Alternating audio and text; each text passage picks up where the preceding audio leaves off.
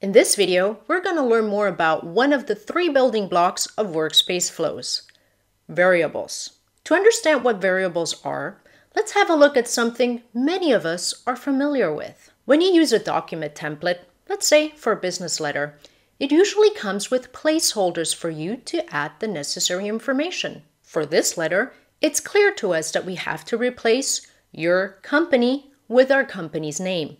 And the same is true for 123, your street, and so on. The same principle is true for variables and workspace flows, as they are placeholders for information from starters and steps that can be used to pass information to later steps and customize your workflow. Like in this flow, the starter is when I get a message, and that message contains information like the sender's email address, the message subject, and more.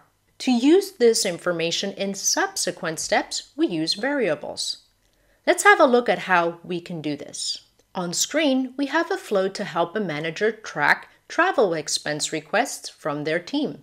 They have a Google form set up for their team members to submit when they have a business travel request, and then it sends a custom email notification when a new submission is made. We can use variables in the message field. These variables allow us to add information from the starter, like the form submitter, when the form was submitted, the response itself, and more. We can either select a variable from the drop-down list after clicking the Variables button, or we can use the Add keyboard shortcut for a list of all available variables to appear in line. Some fields accept only certain types of data. This is why in the flow you see on screen, the To field for the step Send a message only accepts the form submitter variable from the starter, since the information has to be an email address. This can mean that in some cases you might see that no variables are available because the previous steps don't have that data. Sometimes steps may not have all the variables you want.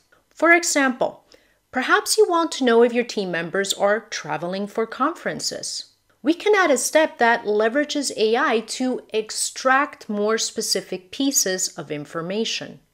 We'll add this step and extract extra details from the form response and then plug those details into the message.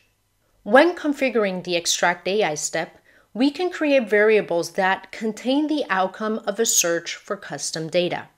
Let's have Gemini look over the form response, and then below we can define some custom information we want to extract. We have defined two variables, conference name and business justification. And for each, we have told Gemini how to perform the search in the description field. In subsequent steps, we can use these variables to gain access to the extracted information. Since variables contain information of the starter or previous steps, Changing the order of the flow steps can have an impact on its variables. As you can see on screen, we moved the send a message step to run before the extract step, even though it needs the content generated by Gemini. This flow can't be turned on as is. To fix this issue, we simply move the send a message step to run after the extract step. As we've seen, Variables are very powerful, especially when you combine them with AI steps. Want to learn more about workspace flows? Then check out more resources and documentation linked in the description of this video.